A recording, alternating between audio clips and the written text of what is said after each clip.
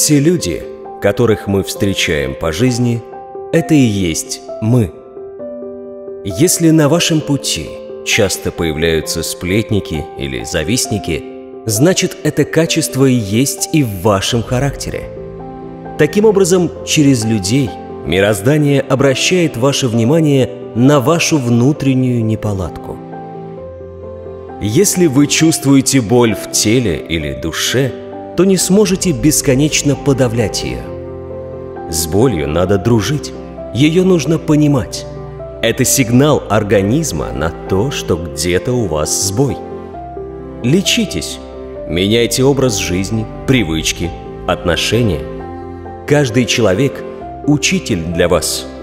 И неважно, мудрец он, преступник или обидчик, случайностей не существует. Все идет по плану. И хорошие, и не очень хорошие люди чему-то учат, и надо быть благодарным за это – в вашей жизни будут люди, доставившие вам боль. Но эта боль в итоге выведет вас на новый уровень. Вы станете крепче, сильнее, научитесь ценить жизнь, людей и спокойно принимать их пороки. Все, что не делается, все к лучшему. Ни о чем не жалейте, хотя бы потому, что это бессмысленно. Открывайте радости внутри себя. Попробуйте, как в детстве – смотреть в небо и чаще разглядывать скомканные пролетающими самолетами облака. Не станьте заложниками эгоцентричных теорий, умных слов, описывающих чужой опыт, идей, выдающих общее равнодушие, бесцветных реалий повседневности. Чаще всматривайтесь в закаты. В экран смартфона еще успеете взглянуть. Чаще заглядывайте в себя – для этого не нужно денег или особых условий. Все очень просто. Остановиться и аккуратно заглянуть внутрь. А занятость – не оправдание. Завтра будет утро, а значит еще один шанс стать счастливее, смиреннее, красивее, чем вчера. Жить не значит идти куда-то. Жить значит выходить на утреннюю прогулку. Каждый новый день это не испытание, а прогулка. Мы идем по земле, встречаем красивых людей, дышим морским бризом, ошибаемся адресом, влюбляемся и расстаемся, падаем и поднимаемся, болеем и выздоравливаем, но продолжаем идти. Завтра погода будет лучше, а дома еще светлее. И речь не о земных доме или погоде. Все начинается и заканчивается внутри нас – когда мы благодарим, любим, обнимаемся, делимся, то оказываемся в раю. Когда сплетничаем, злимся, ненавидим, обманываем, горим в аду. Завтра мы станем еще лучше и научимся не поддаваться всеобщему хаосу. Будем беречь свои миры, чаще обнимать близких, помогать тем, кто нуждается в помощи и больше путешествовать. Счастье – это благодарность и движение. Счастье внутри нас. Но чтобы его постичь, нужно двигаться, слышать, видеть, наблюдать и сравнивать. Нет правильного или неправильного выбора. Есть только ваш выбор и его последствия. А все это и есть ваш бесценный жизненный опыт. Возможность подъема на новый уровень приходит с принятием самих себя – Подавление бесполезно, еще и невероятно вредно. Поэтому нужно познакомиться с собой настоящим. Принять себя, простить и пытаться стать лучше. Для себя самого, прежде всего. Мы все пришли в этот мир исключительно для счастья. Только счастливый человек распространяет вокруг себя добро. А совершая какой-либо негативный поступок, человек вредит в первую очередь себе – когда мы не прощаем, мы не прощаем себя. Когда осуждаем или обсуждаем, мы осуждаем и обсуждаем себя.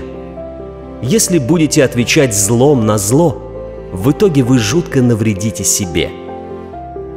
Молча уходить, сталкиваясь с негативным отношением, никому ничего не объясняя и не доказывая, это вовсе не трусость, а скорее понимание того, что каждый сам себя наказывает, просто не сразу это понимает. Но в этой мудрости вы не учитесь у других. К ней вы придете сами, вставая на ноги после каждого нового удара судьбы. Вселенная занимается нами постоянно, преобразуя и внутренне, и внешне. Всякий человек — это незавершенное творение, которое не спеша, шаг за шагом приближается к совершенству. Все мы — недовершенный эскиз, который непременно превратится в законченное произведение искусства. В чем смысл? У этой жизни нет глобального смысла. Все очень просто. Любить жизнь и делиться этой любовью с окружающим миром. Любовь — это начало всего. Вечное и совершенно бескорыстное чувство. Страшно, когда люди перестают жить любовью. Страшно, когда любовь покидает наши мысли, чувства, поступки. Вместо этого приходит эгоизм, амбиции, недовольство. Когда вы достигнете конца вашей жизни, единственное, что будет иметь хоть какое-то значение, это та любовь, которую вы отдали и получили. Бессмертие каждого из нас в том, что мы оставляем после себя – кто-то оставляет музыку, вдохновляющую людей, кто-то отважного сына, спасшего детей на войне, кто-то хорошую книгу, побуждающую не отчаиваться и верить, а кто-то добрую дочь, помогающую бездомным животным. Судьба — это выбор и его следствие. Каждый из нас наделен определенной миссией.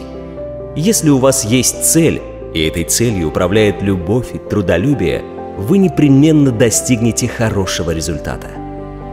Счастье — это свойство характера. У одних в характере его все время ждать, у других — непрерывно искать, у третьих — повсюду находить. Стремитесь к свободе. Свобода — это следование голосу сердца.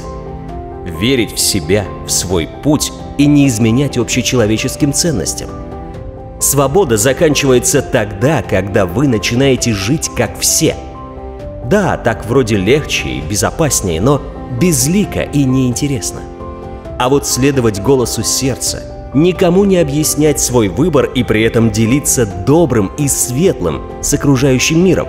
Что может быть прекраснее? Вся жизнь заключается в свободе.